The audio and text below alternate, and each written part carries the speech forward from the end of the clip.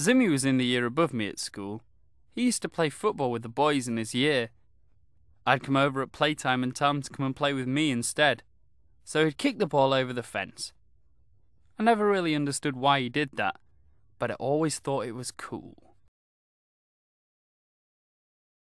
Zimmy used to love lying to me. He told me that if you took the arms off an action figure, the bar that holds them on is coated with poison.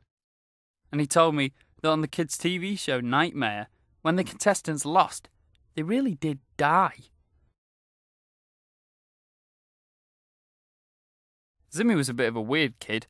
One day, he fell into the bath with his Spider Man suit on, but despite this, he wore it all day and refused to take it off. Me and Zimmy used to have loads of fun hobbies, like shouting insults at passers by through the vent where the tumble dryer used to be, and then laughing at their stupid, frightened faces